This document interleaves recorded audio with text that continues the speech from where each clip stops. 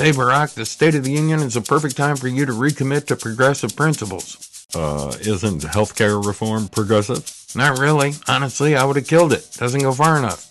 What about my more inclusive, conciliatory foreign policy? The Obama doctrine? I'd blow it up. Doesn't go far enough. What about my environmental initiatives, stimulus packages, and greater transparency in government? Dump it out, pull the plug, toss it off? Not far enough. If I were president, I'd push for real change.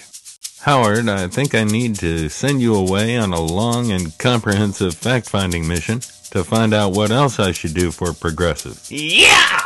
I'll start in California. Howard? Yes, Mr. President? Not nearly far enough.